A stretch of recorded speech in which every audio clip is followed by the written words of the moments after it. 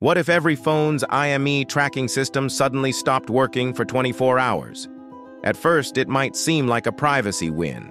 True phone anonymity for everyone. But within minutes, the chaos would begin. Stolen phones would become completely untraceable, recovery impossible.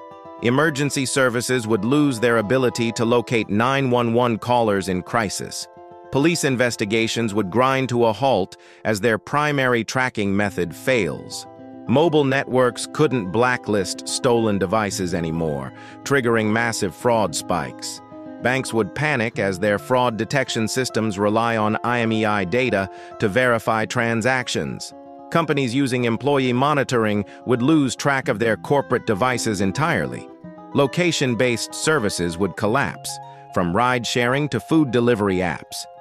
Mobile commerce would shut down as digital identity verification becomes impossible. Credit card companies would freeze online payments, unable to confirm device authenticity.